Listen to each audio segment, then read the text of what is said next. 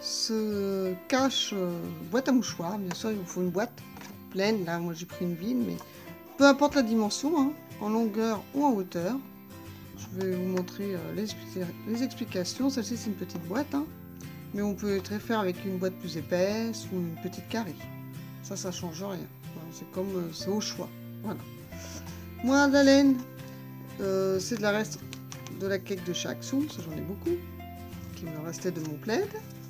Donc normalement, elle est préconisée aiguille numéro 5. Là, je vais prendre un crochet numéro 4. La taille en dessous soit bien serré et qu'on voit pas la déco euh, de la boîte qu'on va réaliser. Hein. Voilà. Pour ce qui concerne le matériel, euh, bah après, bah, bien entendu, euh, une aiguille à laine, hein, une paire de ciseaux hein, ça, ça change pas et puis un petit marqueur ou alors un morceau de laine de couleurs différentes qui peut très bien faire office de marqueur. Moi j'ai mon petit marqueur, voilà celui-ci, hein, comme vous avez l'habitude de voir hein, sur mes vidéos. Mais vous pouvez très bien prendre euh, aussi un petit morceau de laine différent, hein. ça servira de marqueur. Il n'y a pas de souci aussi pour ça. Voilà, donc c'est parti pour les explications de cette euh, boîte à mouchoirs, enfin ce couvercle de boîte à mouchoirs. Crochet c'est parti les amis Pour commencer, nous allons faire une chaînette. Donc comme je dit précédemment, si votre laine est plus petite, vous prenez le crochet un cran en dessous. Si c'est du 3, vous prenez un crochet numéro 2. Si c'est euh, préconisé en 4, vous prenez un crochet numéro 3. Et puis après, vous verrez hein, les deux trois premiers rangs. Si d'après vous, c'est trop ajouré, ben, vous prenez encore le crochet en dessous. Hein, tout simplement pour pas voir la boîte. Bref. Donc moi, ben, j'utilise le crochet numéro 4 avec euh, ma laine préconisée en 5 je mets mon petit fil comme ça, je le tourne comme si j'allais faire un cercle magique. Là, je passe mon crochet en dessous, j'attrape l'autre, et là par contre je vais tirer entièrement, parce que ça va me faire ma boucle, vous voyez, et je tire entièrement.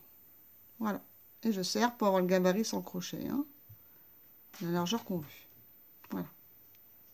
Et là, on va faire une chaînette. Alors tout va dépendre de la longueur de votre boîte. Donc là, je vais en faire deux, 3, 4, 5, 6, 7, 8.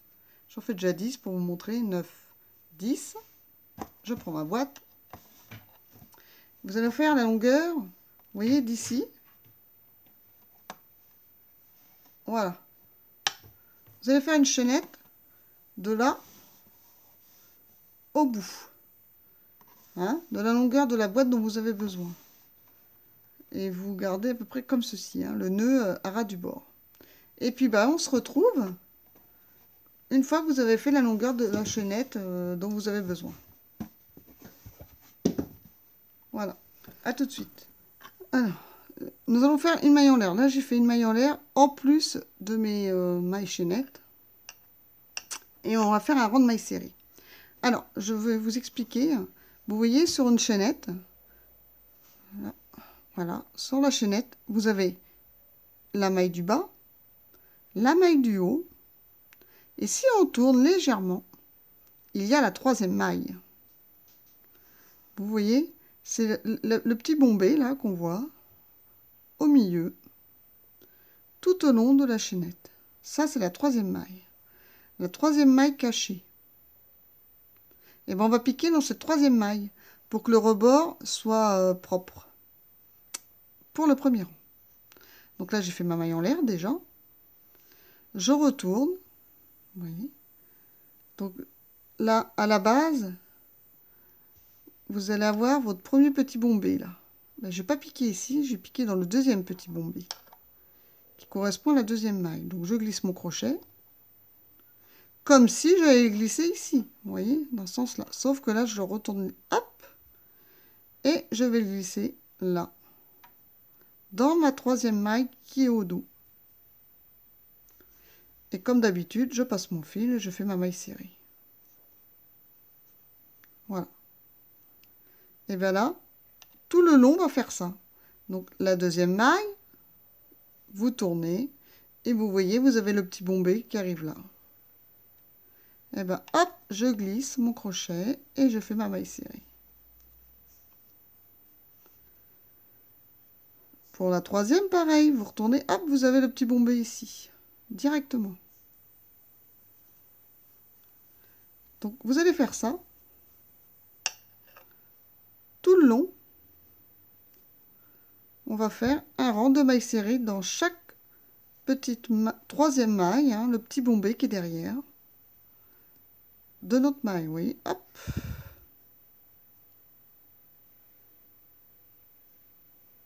Il est là. Alors, si vous n'y arrivez pas, ben vous faites un rang de maille serré euh, normalement. Mais c'est juste pour vous apprendre une technique qui fait une finition euh, plus propre.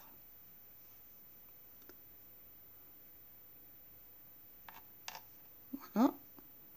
Donc je vous laisse. Alors c'est normal, on a, plus de mal à l'attraper, hein, la troisième maille, euh, pour, pour ce rang-ci. Donc ça prend un peu plus de temps mais on se retrouve à la finition. Voilà. Voilà ce que ça donne, en fait. Pour le premier rang, vous voyez Donc, je vous laisse faire tout ce rang en maille serrée en prenant le petit bombé de derrière. Hein et en essayant de ne pas en sauter, forcément. Voilà. Donc, je vous retrouve à la fin de ce rang. A tout de suite. Voilà, j'ai terminé mon rang de maille série. Là, j'arrive au bout. Et au bout, vous dites, oulala, là là, elle où la petite boule, euh, hein, la troisième maille? C'est tout simple. Vous voyez, vous avez la petite vague là, ça c'était la maille d'avant. Celle-ci, ben, la troisième maille, c'est juste le, petit, euh, le bombé qui est juste au-dessus. Hein. Donc vous piquez votre crochet là. Bon, ça risque d'être difficile parce que c'était la première. Mais normalement, ça passe. Voilà et vous faites votre dernière maille série. Voilà ce que ça vous donne. Ok? Donc là, bien vous vérifiez quand même, par rapport à votre boîte, si la longueur vous convient. Je pense pas que ça bouge après, comme c'est des mailles serrées. Donc là, moi, je suis à ras du bord comme ça. Et là, c'est bon, c'est pile poil. C'est bien. Parce qu'en sachant qu'une fois qu'on aura fait les coutures, on va tirer un petit peu dessus. Hein. Donc c'est bon. Allez bien, pile poil, vous voyez là. Je suis à ras du bord. Je vais pas vous montrer la boîte entière parce que j'ai pas un grand angle. Voilà. Mais de l'autre côté, c'est pareil. Voyez Voilà. Donc là, bah, tout simplement, je vais faire une maille en l'air. Je tourne. Et je vais pas piquer en bas ici. Hein. Je vais piquer sur celle d'à côté. Et je vais prendre les deux boucles. Et je vais faire ma première maille serrée. Voilà. Et là, pareil. Le long, je prends mes deux fils, comme d'habitude, hein, mes deux boucles. Ma maille entière, hein, comme on fait habituellement quand on fait des mailles serrées. Voilà, on prend les deux et je fais mon rang de mailles serrées tout simplement tout le long.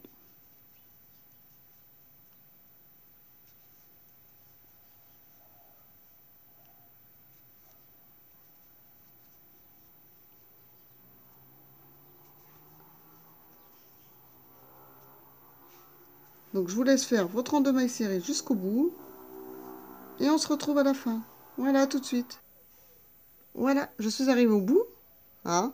Alors bien entendu, il faut pas oublier la dernière, hein. la dernière maille serrée ici. Donc on pique. Voilà. Et je fais ma maille serrée. Et si vous êtes débutante, c'est vrai que j'ai pas pensé à vous le dire. Voilà, quand c'est comme ça là, je vais faire ma maille en l'air. Et lorsque vous commencez votre rang dans ce sens-là, donc on tourne notre ouvrage, car on va refaire une maille série. Je fais ma maille en l'air, je pique pas à la base, hein, ici, je pique à côté, voilà, ici, et je fais ma maille serrée.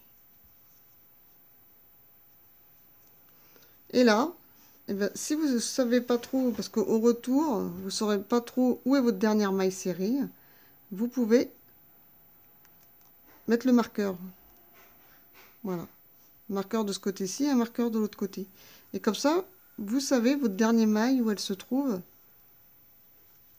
quand vous allez arriver au retour. il est vrai que lorsqu'on débute, parfois on ne sait pas trop où est la première et la dernière maille. Donc c'est l'astuce, euh, minute de l'astuce de GCC. Si vous ne savez pas trop, parce que vous êtes débutant, bah vous marquez votre première maille et quand vous allez arriver au bout et que vous allez commencer pareil, je vais vous montrer, et ben vous marquez aussi. ça, vous n'avez pas de souci. Donc je vous laisse finir comme moi votre rang de mailles serrées et on se retrouve au bout. Voilà, j'ai terminé mon rang. Et vous voyez, vous arrivez comme ça. Donc si vous faites demi-tour, ça va faire une boule. Donc là, il ne faut pas oublier de piquer le crochet, hop, et de faire notre maille serrée. Vous Que ça soit bien droit. Nickel. Hein Donc comme tout à l'heure, vous faites votre, votre maille en l'air. Vous piquez pas dans celle-ci, dans la première, vous piquez dans la deuxième. Hop Et on fait la maille serrée. Et là, pour savoir où se trouve votre maille serrée, bah pareil, vous pouvez mettre le petit marqueur, hein, pour vous repérer. Surtout, faut pas oublier la première et la dernière, comme je vous ai montré, hein, sur les rebords, pour que vous voyez, votre travail soit bien droit. Car on va, on va crocheter hein, toutes les parties de la boîte. Là, on va crocheter le dessus. donc déjà là, moi c'est bon. Hein. donc là, je vais vous laisser faire votre bois, rang là, de mailles serrées, jusqu'à arriver à peu près au centre. Alors, moi ma boîte elle fait largeur. Celle-ci a fait 11,5 on va dire. Voilà. Donc la moitié de 11, ça fait 5,5. Mais attendez que j'ai en plus 3 euh, mm de plus, Hmm. Allez, on va la mettre à 6. Parce que ça fait... Euh. Je vais la centrer. Vous voyez, là, les 6 cm sont ici. Je vais faire euh, moins 3. Voilà, par là. Hein. je vais faire 5,6. De toute façon, vous pouvez vous repérer à la découpe. Pardon. À la découpe, vous voyez, du plastique, là, on voit, là. Et comme ça, vous savez où est le centre. Donc, et eh ben moi, je vais crocheter un peu moins de 6 cm. Vous voyez? 5,5. Voilà. Je vais faire 5,5 cm de maille serrée jusqu'à arriver au centre. Je me laisse une petite marge, comme ça le trou sera un peu plus large pour attraper les mouchoirs. Et on se retrouve à ce moment-là. Voilà. Je vous laisse tricoter vos rangs de maille serrée jusqu'à arriver au centre. Et on se retrouve. Voilà, j'ai tricoté la hauteur que je voulais. Hein, par rapport à ma boîte. Donc je vous montre. Ma boîte, elle fait, fait combien? Elle est 11 cm de large.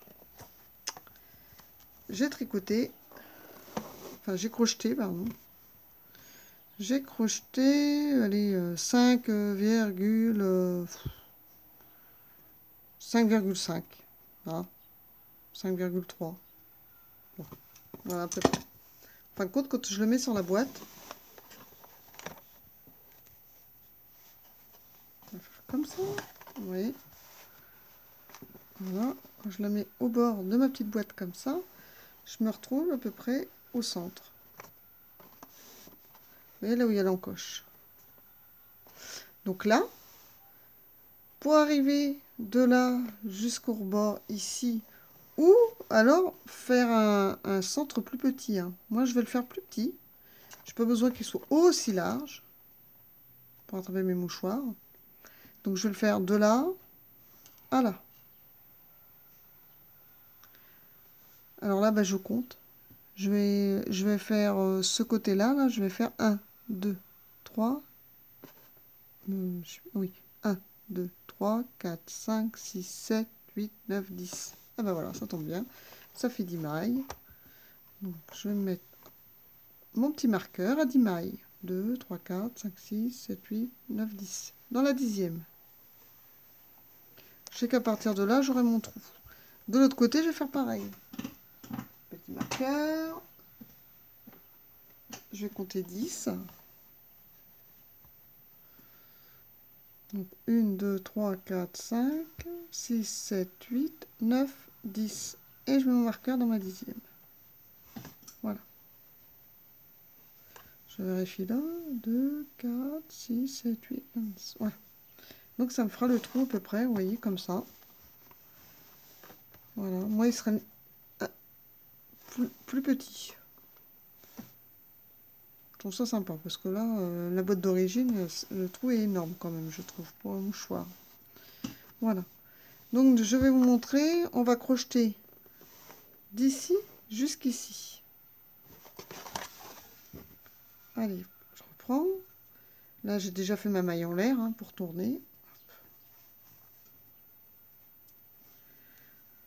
Donc, comme d'habitude, je saute la première, je vais à côté. Hop. Je vais déjà faire un rang jusqu'à mon marqueur de maille serrée.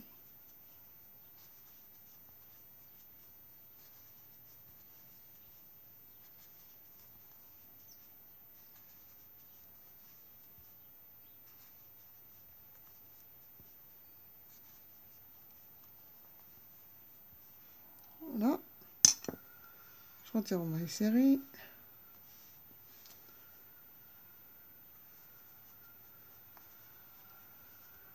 Voilà, j'ai fait mon premier rond. Donc là, je vais faire une maille en l'air. Je tourne.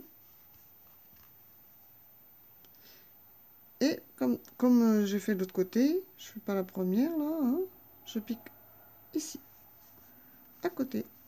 Et je fais mon rang de maille serré. Vous voyez, pour marquer le centre. Là, je ferai mon mouchoir.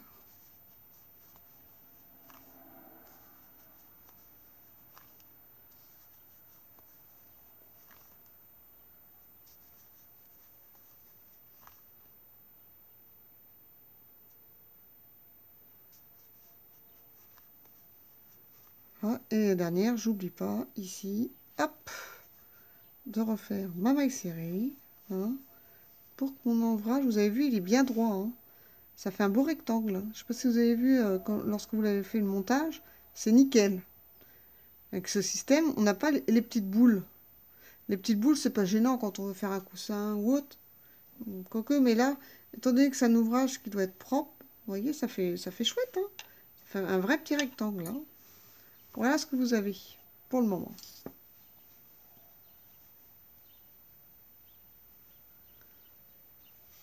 Là, je fais ma maille en l'air. Je vais retourner mon ouvrage. Je saute la première, hein, comme d'hab. Hop, et je fais mon rang de maille serrée jusqu'au bout. Donc, je je vois pas l'intérêt de vous donner le nombre, étant donné que vous, vous devez le savoir. Hein. Vous, vous avez peut-être fait euh, sur le côté euh, que 10 mailles serrées, par exemple, ou 8, ou en fonction de votre boîte et de votre laine surtout. Donc ça, c'est vous qui voyez la largeur du centre de votre boîte. Ce que ça donne ma dernière maille serrée, voilà. Et j'oublie pas la dernière, à ras du bord, là. Hein. Je la chope, voilà, pour que ça fasse droit. Vous Droit et propre.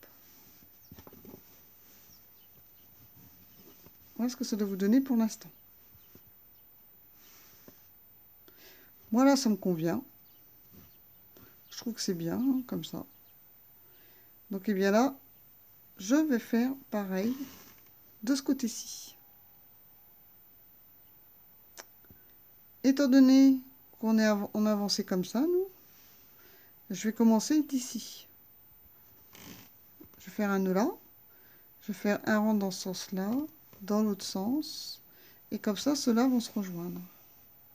Je sais pas si vous avez compris, mais je vais vous montrer tout de suite. Alors celui-là, ben, je vais le laisser en attente, ce fil. Et là, je vais démarrer ici.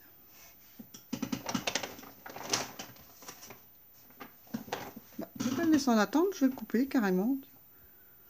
Allez, hop. Voilà. Je repasse. Ah bah, c'est ma boîte, je l'ai. je le passe comme ça et je coupe. Voilà. Et on va faire la même chose là, ce petit rebord hein, pour l'ouverture de l'autre côté. A tout de suite. Alors pour démarrer là, je prends mon fil. Comme d'habitude, je fais ma petite croix. Je passe en dessous, j'attrape celui du dessus. Je tire pour faire ma boucle. Et là, hop, je tire complètement. Ici, là où il y a le marqueur, je vais retirer. Hop. Je passe mon crochet.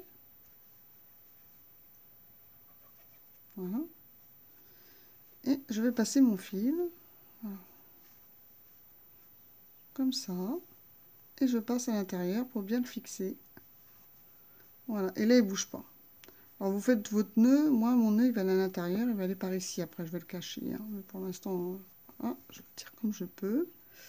Là, je vais faire une maille en l'air. Je vais repiquer au même endroit, là où je suis, en prenant mon petit fil pour cacher mon nœud. Voilà. Et je fais ma première maille serrée ici. Et après, ben, je continue jusqu'au bout ma maille serrée. Vous avez vu, j'ai fait ma première maille serrée là où on a passé notre première maille en l'air et on a fixé le fil. Hein. Là, je, je, tire un peu pour cacher mon petit nœud, pour pas qu'il soit, voilà. Et je continue en maille serrée tout le long.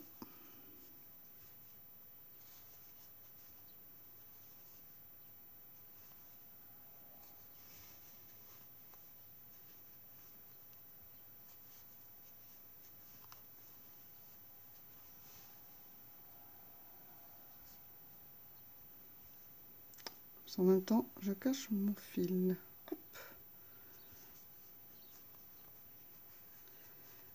Là, mon fil, je le mets devant, je sais, parce que là, j'ai déjà fait un nœud. Hein. Vu que c'est des restes de laine, j'ai plein de petits morceaux comme ça de verre. Donc, je sais que moi, l'envers, il sera de ce côté-là. Hein. Après, vous, choisissez votre côté et puis vous, vous laissez dépasser ce petit morceau, ou de ce côté, ou de l'autre. Moi, je sais que cette face-là, ce sera euh, l'endroit. J'ai décidé qu'il était plus joli. Voilà. La, dernière, pareil, on n'oublie pas, sur le rebord, là. Hop. Voilà. Je fais ma maille en l'air. Et je fais à nouveau mon rang. Donc je pique pas dans le premier à la base. Je saute, je prends celle-ci. Et je fais à nouveau mon rang de maille serrée.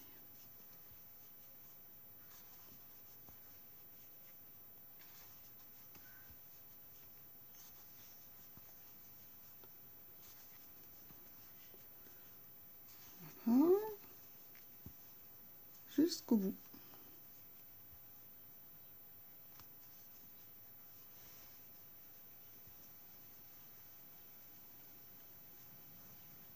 Voilà ce que ça va vous donner? Là, et eh ben hop, je fais une maille coulée et je coupe.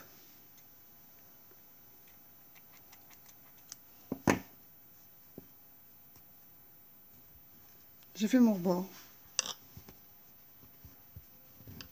Voilà. Donc je vais récupérer ce fil-là que vous, vous n'avez pas coupé. Ou si vous l'avez fait comme moi, bah, c'est pas grave. Hein. Moi, en fait, je l'ai coupé parce que j'ai qu'une pelote. Hein. Donc, euh, bref, voilà. Donc, si vous l'avez pas coupé, et eh bien là, on va faire une chaînette jusqu'au bout et finir notre rang. Hein parce que là, on avait fait là, on avait fait à l'envers, à l'endroit, et à nouveau, pardon. Là, on avait fait euh, comme ça. On a tricoté le premier rang, le deuxième rang, le troisième rang. Donc le troisième rang, on va faire des, mailles chaînettes en l'air, là, pour rejoindre ce troisième rang ici qu'on n'a pas fait. Parce qu'ici, on a commencé ici, on a fait un premier rang, un deuxième rang. Et le troisième, ça va être celui-là, pour raccrocher le tout. Donc c'est pour ça, si vous n'avez pas coupé votre fil, tant mieux. Si vous l'avez couper comme moi, c'est pas grave. On va faire un petit nœud. C'est ce que je fais, donc je le récupère. Si vous avez plusieurs pelotes, par exemple, vous n'avez pas besoin de, de couper. Étant donné que j'ai qu'une pelote. Donc là, je vais faire mon nœud.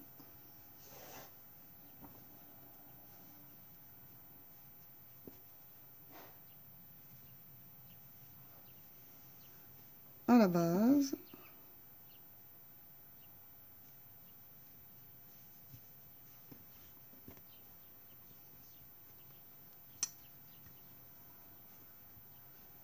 Voilà. Et là, on va compter le nombre de mailles.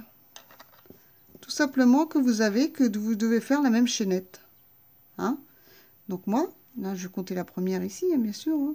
Donc moi, j'en ai 1, 2, 3, 4, 5, 6, 7, 8, 9, 10, 11, 12, 13, 14, 15, 16, 17, 18, 19. La 20e est ici. Donc là, je sais que je fais une chaînette de 19 avant de, tricoter, avant de récupérer ici normalement. Hein.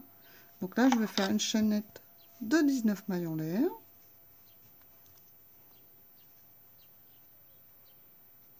Une, deux. La première, je vais la faire un peu plus longue parce que là, elle est vraiment très petite. Et après, je vais être gênée. Ah bah, c'est à cause de mon nœud. Je l'ai trop serré.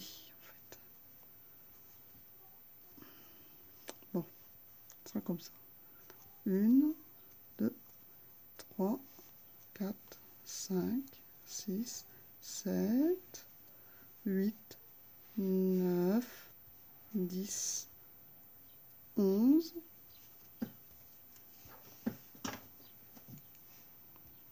12, 13, 14, 15, 16, 17, 18, 19. Voilà. Là, je retourne ici. Ce fil-là, je vais le mettre à l'intérieur. Hop. Et je vais piquer direct. Hop, ici. Et je vais faire ma maille serrée. Alors, attendez, parce que là, voilà.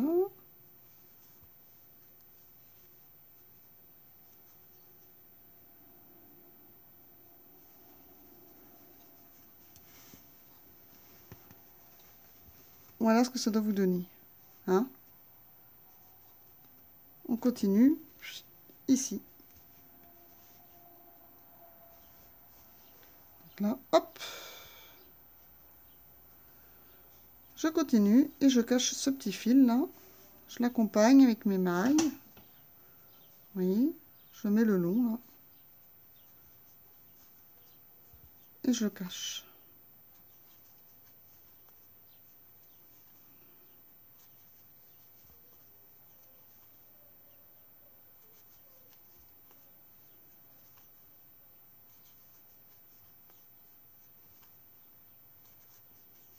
Et je termine mon rang normalement, comme j'aurais dû le terminer tout à l'heure. Alors ce fil là, je vais le laisser là parce qu'il va être trop près du bord, après il va me gêner. Voilà. Et j'oublie pas toujours la petite dernière là, hein. On la chope. Voilà. Et je fais ma maille en l'air. Et je tourne. Et voilà ce que vous devez avoir pour l'instant. Ça doit vous donner ça.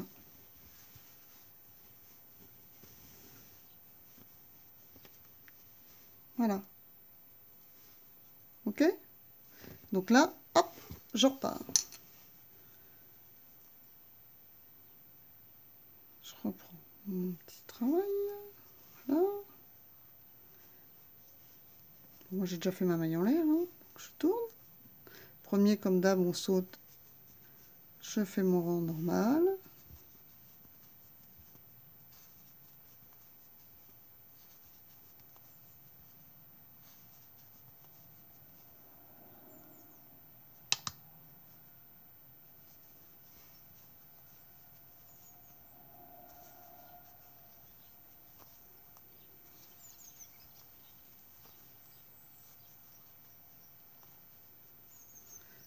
Fait mes 9 mailles, euh, parce que moi c'était 9. Hein.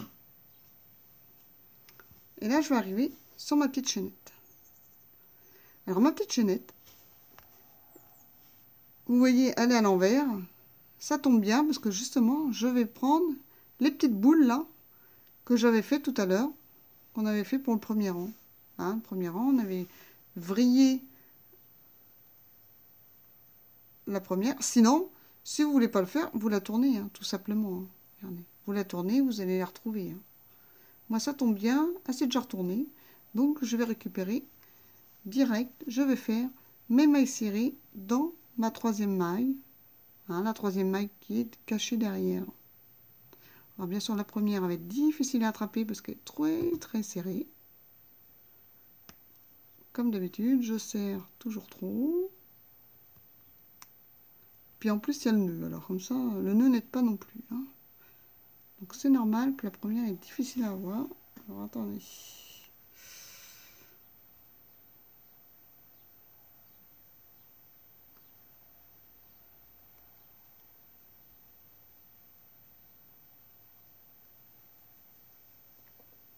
C'est comment vous avez des difficultés à avoir la première?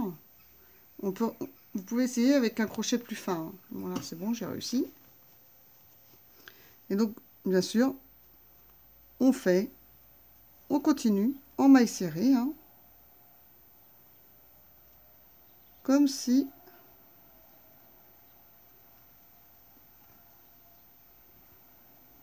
Oh là là, j'arrive pas à attraper. On continue en maille serrée, hein, pour fermer ce trou. C'est par là qu'on attrapera les mouchoirs.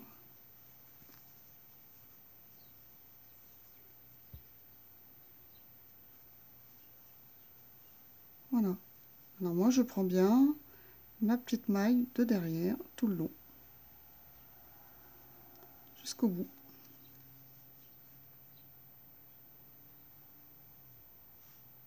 Faire attention de ne pas en sauter une. C'est surtout ça en fait.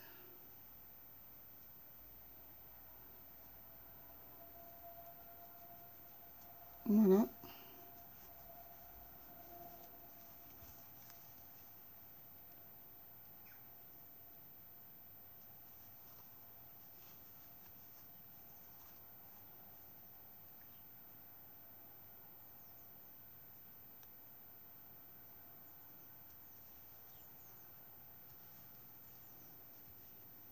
Ça jusqu'au bout. Et on se retrouve à la fin de ce rang. Allez, à tout de suite. Voilà, j'ai terminé mon rang de mailles serrées hein, jusqu'au bout, jusqu'à ce côté-là. Donc, eh bien, on va faire comme ici. Vous, vous tricotez, enfin, vous crochetez la largeur en mailles serrées dont vous avez besoin, comme pour ici. Alors, ma petite boîte, Tiens, volé, elle est où Elle est où ma petite boîte? Donc bien sûr, vous regardez, vous ajustez. Hein, par rapport à votre boîte, si c'est correct, si la largeur vous convient, et ainsi de suite. Vous voyez? Voilà ce que ça va donner. Hop Voilà pour l'instant ma boîte.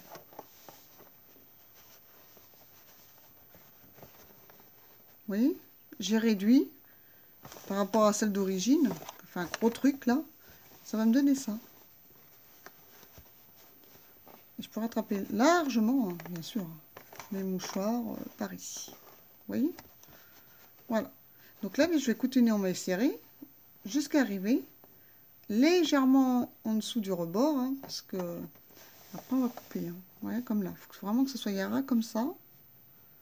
Donc logiquement, là, on voit, j'ai dû faire 2, 4, 6, 8, 10 rangs. Là, j'en ai fait un. Donc, je pense qu'il me reste encore 9 rangs ou 8 rangs à faire pour arriver au bout. Donc, je vous laisse terminer. Hein, continuons maille serrée jusqu'ici, en n'oubliant pas la petite du bout, hein, pour que ce soit bien droit. Et ici aussi. Hein. Et on se retrouve à ce moment J'ai terminé mon morceau, mon dessus de boîte. Voilà je vais prendre la tablette, c'est plus facile. Voilà. Là, on voit bien. Donc, j'ai bien fait bord à bord, hein, vous voyez, en fin de compte. Parce que, euh, étant donné que j'ai crocheté avec un crochet en dessous, elle est bien rigide. Hein. Donc, ça bougera pas. Donc, voilà. J'ai fait pile poil la taille. Même si la laine après se détend, euh, voilà. Voilà ce que ça donne sur le dessus. Alors, après, il reste plus qu'à faire un morceau, deux morceaux, enfin un morceau pour ici, un morceau pour l'autre, hein, les deux identiques. Et puis sur les côtés, pareil. Avec le même système qu'au démarrage. On fait la maille chaînette et après on fait en maille serrée. Là, il n'y a pas besoin de faire d'ouverture hein, pour les bords. Voilà, alors voilà, ce morceau, moi je les ai déjà fait.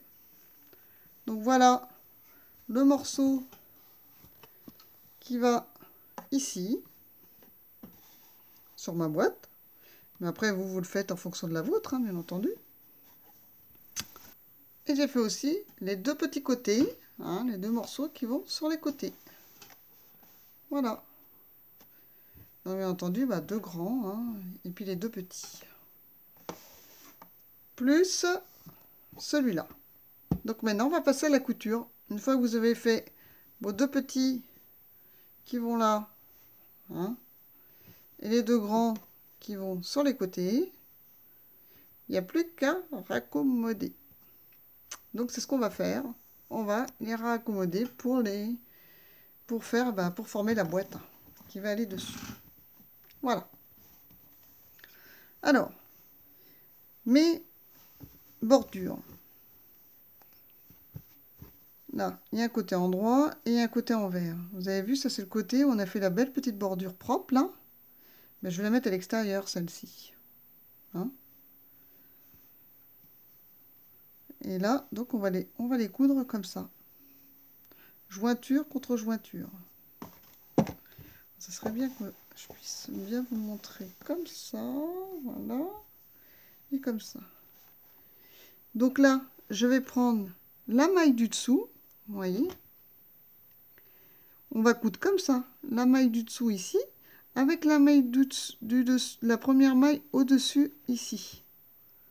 Je vais pas prendre celle du dessous là, ni les deux en même temps. Je vais prendre celle du dessus et celle de ce morceau, celle qui est vers moi et pas celle-ci.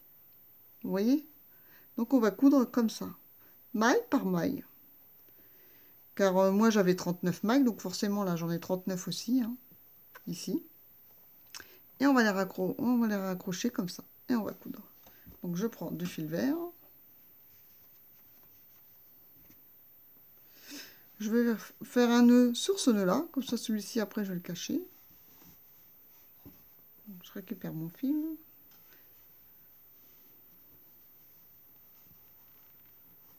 Voilà. Tout simplement le nœud ici. Hop je rentrerai les fils après. Donc je prends un fil assez long pour être tranquille pendant un petit moment. Voilà. On passe dans notre aiguille.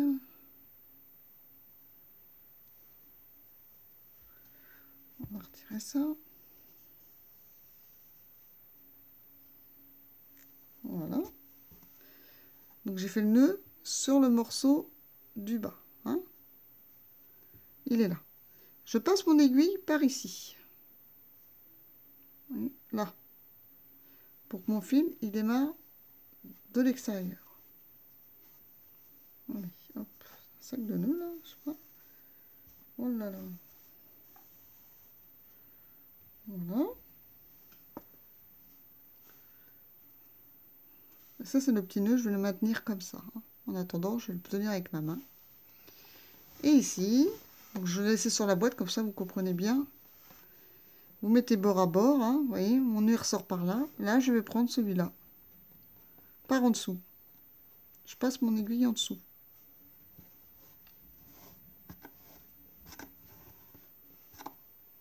Voilà. Là, je vais le planter au-dessus, ici je passe à côté et en même temps je prends la maille en dessous.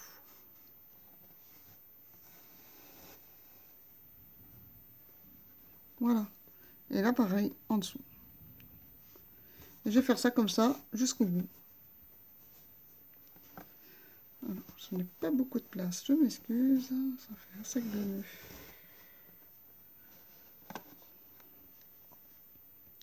donc je, pareil là hop et je récupère ma maille du dessous. Voilà. Ça c'est le nœud qui m'embête. Voilà, vous voyez ce que ça donne? Donc eh ben, on va faire ça jusqu'au bout. Hein. Maille par maille, comme ça.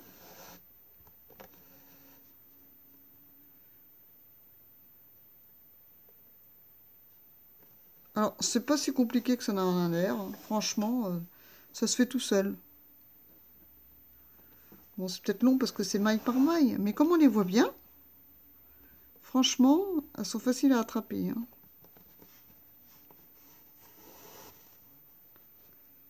Donc ça va tout seul.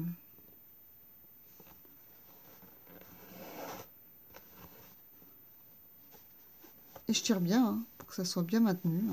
Et vous voyez, ça me fait une, une couverture, j'allais dire. une couture invisible. Vous voyez? C'est nickel.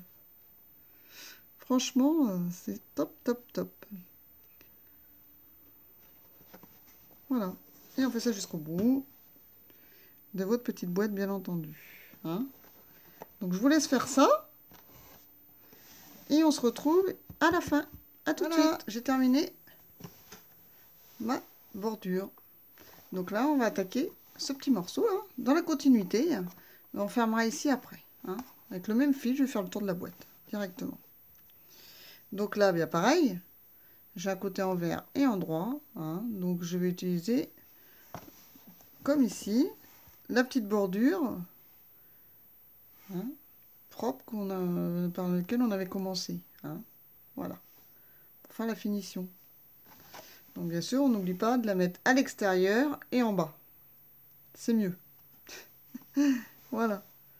Donc, je la mets en place dans l'angle, forcément. Donc là, hein, j'ai fini ici.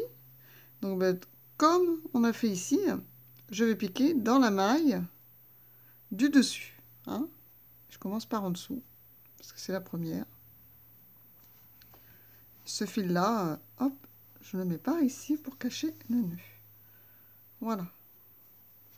Et je vais piquer dans cette première maille sur le côté qui est là.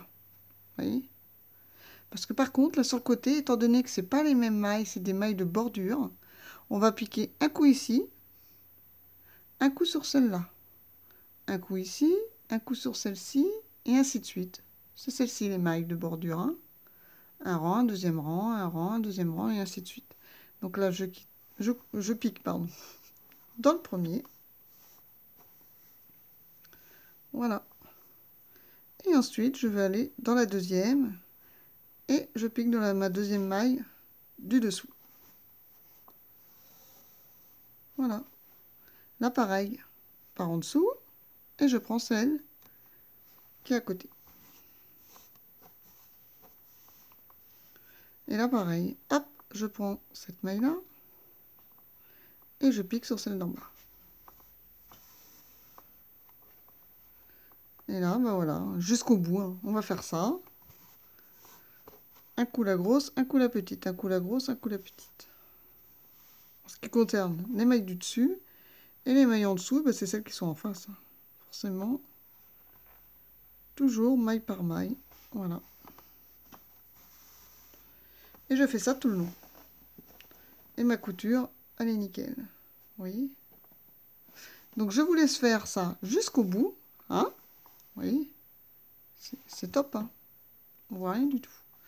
Donc, je vous laisse faire ça jusqu'au bout. Et puis après, voilà, ici, quand vous arriverez dans vos dernières mailles, vous faites la même chose avec ce côté, hein, à l'identique de ce qu'on a fait euh, derrière. bien entendu, toujours en n'oubliant pas le, beau côté euh, vers vous. Hein. Si vous avez un nœud comme moi et que vous ne l'avez pas fait du bon côté, bah, tout simplement, on le passe. Hein. On le passe à travers, comme ça. Hop, on retourne, on tire les fils de l'autre côté. Et voilà, il n'y a plus le nœud. Ok? Donc là, je vous laisse faire finir ici, finir là, et finir la bordure. Et je vous montre euh, la boîte, enfin le cache-boîte à mouchoir terminé. Allez, à tout de suite les amis, bonne couture bon courage Car moi aussi, c'est pas mon fort.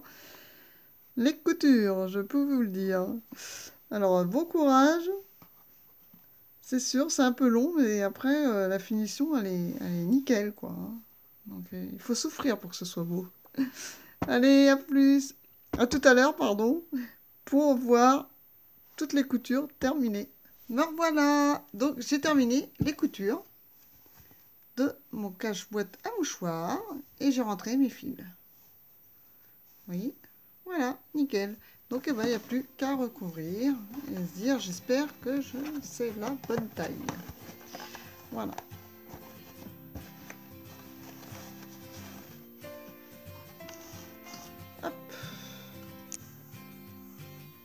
Le lever un peu plus. Et voilà. La boîte à mouchoirs terminée. Bon, là, on voit légèrement, mais vous voyez, quand elle est posée, ça se voit pas. Et là, on le voit un petit, tout petit peu, mais je pense qu'à force, la laine va se détendre. hein. Si jamais la laine ne se détend pas, rien ne vous empêche de faire un rang de marée serré tout autour. Moi, je vais le laisser comme ça, parce qu'une fois posé, vous voyez, on la voit pas. Voilà, et c'est nickel pour la boîte à mouchoirs. Et maintenant, il n'y a plus que la customiser. Pour la customiser, vous pouvez faire ce que vous voulez. Des fleurs, euh, certains font des boîtes à Lego, vous savez, des petits, euh, des petits ronds. Et puis ça y est, ça fait un Lego. Euh, vous pouvez faire en version canapé, hein, avec un petit boudin autour. Moi, celle-ci, je vais faire des petites décos. Parce que, étant donné que c'est une couleur acidulée, et puis qu'il m'en restait plein d'autres, hein, toujours de la cake, hein, bien entendu, j'ai décidé de faire des petits bonbons en décoration. Donc je les ai déjà fait, hein, parce que c'est toujours avec mes restes de laine. Je les ai fait comme ça, à la main, au pied levé. Vous pouvez la faire bicolore aussi, de plusieurs couleurs. Rajouter des petits accessoires, euh, voilà. Là, j'ai montré la base. Après, vous faites marcher votre imagination et vous en faites ce que vous voulez en déco. Voilà.